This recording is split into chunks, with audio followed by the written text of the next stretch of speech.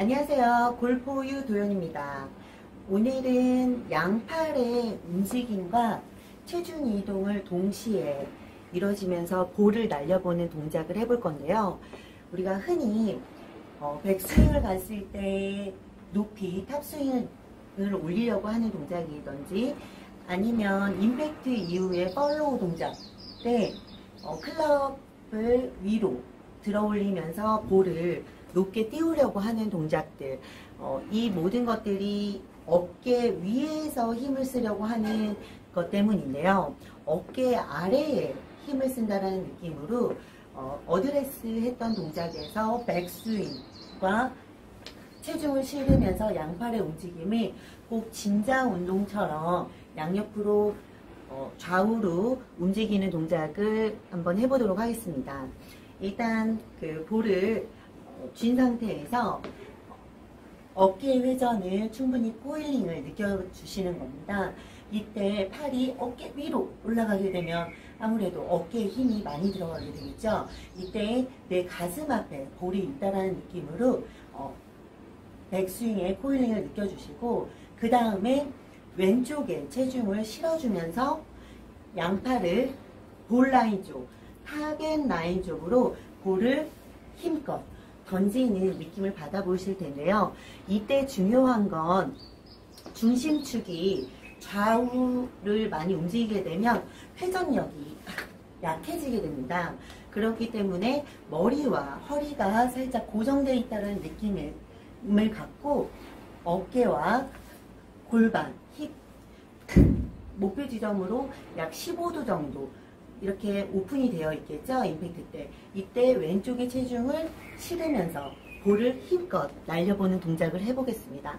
자 이때 어, 볼을 진 상태에서는 어드레스를 취해 주시고 백스윙 갔을 때 어깨 위로 힘이 쓰이지 않도록 어깨 아래에서 볼을 잡아주시고 그 다음에 왼쪽으로 중심 이동을 하면서 볼을 어깨와 골반 힙에 힘으로 볼을 타깃 방향으로 던져보는 거예요.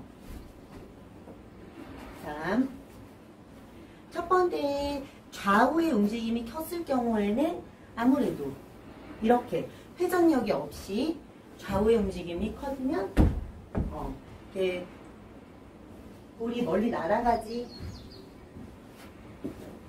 힘을 볼에 힘을 전달을 할 수가 없게 되고요. 두 번째는 어깨 위로 힘을 쓰게 하려고 하면 아무래도 척추가 이렇게 척추 각도가 반대쪽으로 이렇게 하는 옆피보 신 동작이 나오겠고 반대로 백스윙이 이렇게 되면 다시 또 퍼올리는 동작이 나오게 됩니다.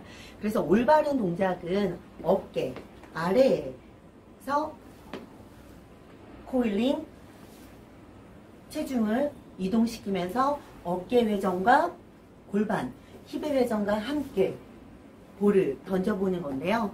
다시 한번 해보겠습니다. 어드레스를 취해주고 백, 다운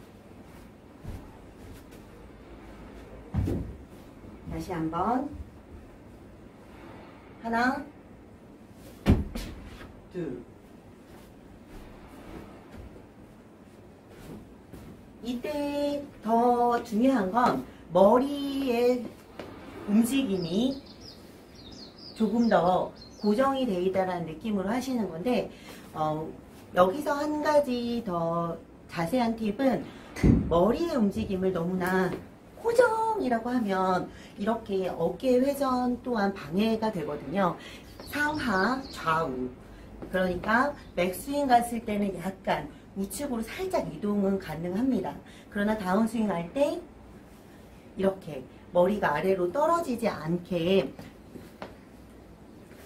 둔 상태에서 볼을 힘껏 던져보는 거예요. 그래서 오늘은 이 느낌을 가지고 한번 나 혼자 스크린 75편 이어가 보도록 하겠습니다.